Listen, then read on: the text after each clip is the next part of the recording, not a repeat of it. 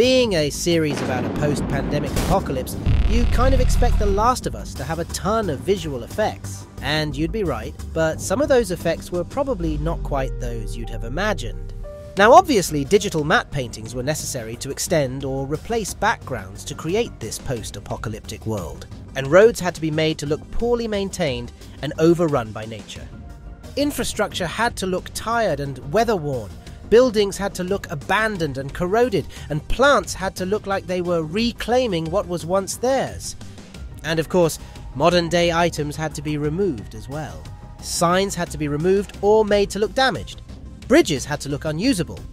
In short, decomposition and abandonment had to be woven into almost every shot. And up to here, it's all fairly run of the mill. But it turns out that even though, through the use of practical effects, prosthetics, and clever location selection, the filmmakers attempted to do everything practically due to aesthetics, technicalities, and just plain bad luck, they still had to use digital effects.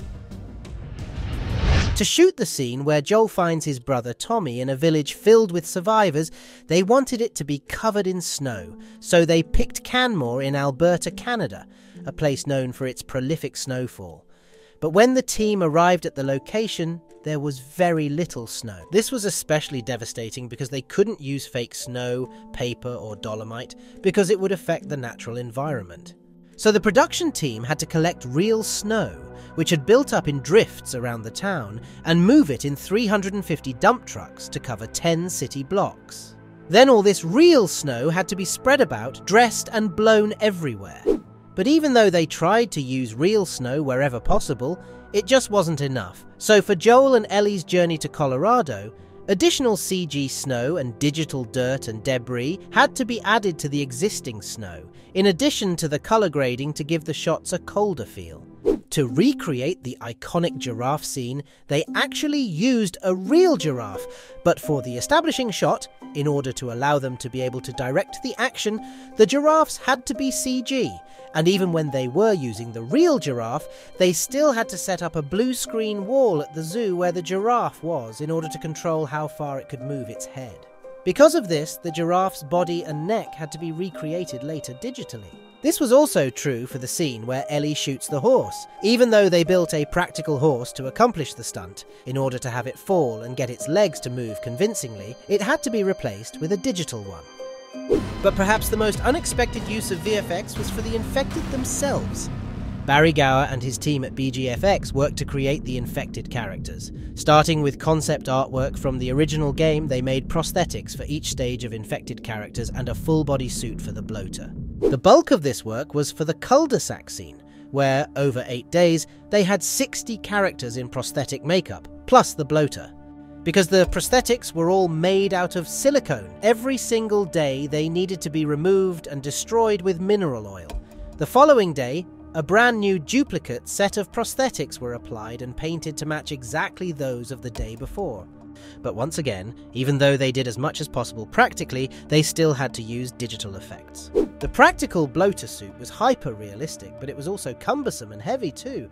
So not only did it bounce and wobble in an unconvincing manner, but it also impeded the actor from moving in a convincing way. So the bloater suit had to be scanned and then recreated digitally using the actor's mocap performance to aid animation.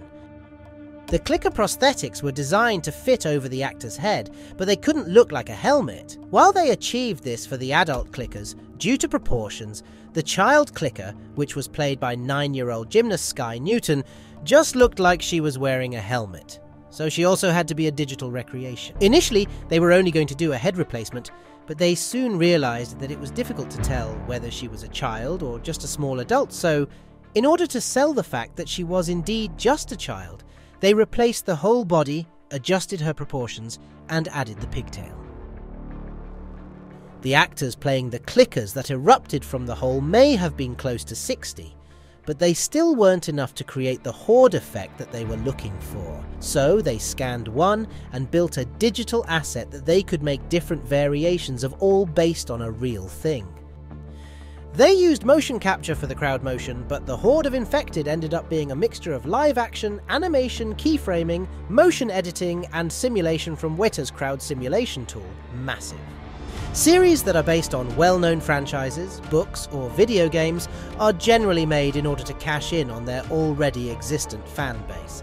But series like The Last of Us are successful, not because they are made for the fans, but because they are made by fans who aren't afraid to adjust or modify whatever they have to in order to better tell the story.